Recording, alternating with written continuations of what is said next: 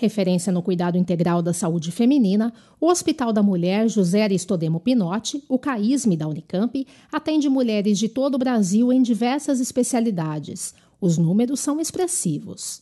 Eu tenho uma estatística do ano de 2016 com atendimentos ambulatoriais por ano de 90 mil consultas, cerca de 4.100 cirurgias, cerca de 2.700 partos por ano. E no ano de 2016 também nós temos um atendimento de casos novos de câncer de mama que gira por volta de 450 a 500 casos por ano.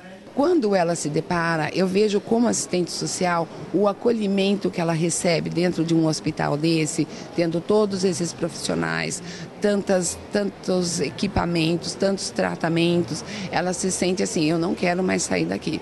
Isso é uma experiência de 22, 23 anos. Então ela se sente acolhida assim, ela não quer voltar para a rede porque ela se sente segura. E é o que devolve para ela a autoestima também. Essa, esse esse preparo, essa equipe, a intenção disso tudo é devolver a autoestima dessa mulher, ou pelo menos colaborar com isso, porque é um hospital voltado ao atendimento humanizado. Para comemorar o dia 8 de março deste ano, o CAISME convidou cinco personalidades para uma conversa sobre lutas, conquistas de direitos, representatividade das mulheres em suas áreas de atuação e mulheres na política. Edilaine Garcia, jornalista da IPTV, conduziu o bate-papo. A gente falou muito do protagonismo da mulher, da mulher estar à frente defendendo o que ela acredita, do olhar para si é, da questão de, de cada um é cada um e que o, o, homem respeitar a mulher e a mulher respeitar os homens. Que eu, eu acredito, isso é uma visão minha, de ter uma parceria. Não tem que ter essa questão de concorrência. Um precisa do outro hoje. Quando a gente descobrir que todos nós somos um, a minha visão é essa. Então, de trazer isso para a discussão, eu acho perfeito. Então, a questão do empoderamento, que eu chamo de protagonismo pessoal na vida, de autenticidade, de você se colocar o que você quer, primeiro o que você é.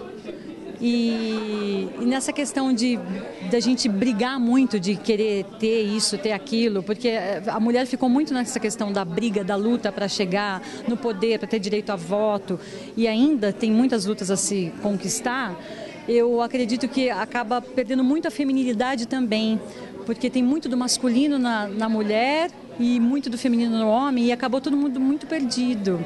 Então, eu acho que o dia é para a gente refletir o quanto que a gente tem que resgatar desse feminino e continuar nessa luta e com alegria. Acho muito importante o que foi falado aqui sobre a mulher na política, porque de certa forma seriam uh, a gente teria um mais uh, pensamentos e, e, ações, na verdade, em prol desse mundo das mulheres.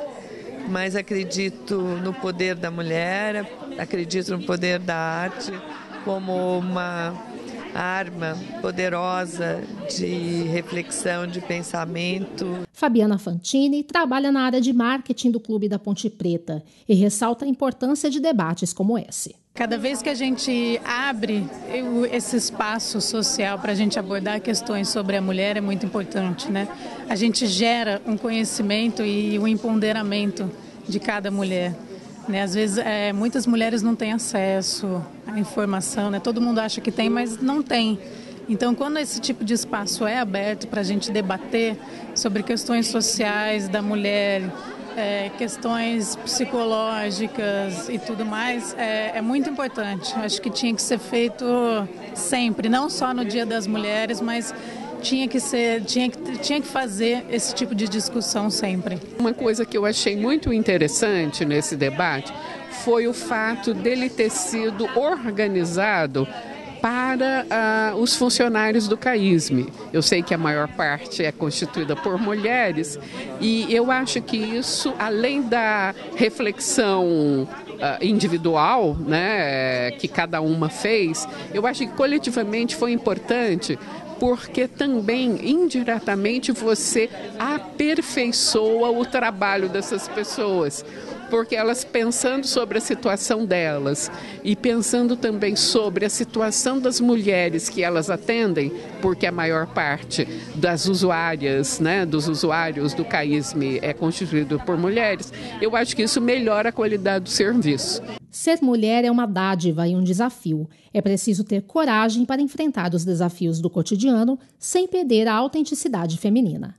Tenha coragem de ser você mesma. Seja você plena de emoção, de é, intuição, de inteligência e, e siga suas suas ideias, siga o amor. Eu acho que a mulher é, tão capaz de de amar e de ser compassiva. É, quem sabe a gente pode mudar os parâmetros para que a gente tenha uma sociedade mais rica desses valores femininos.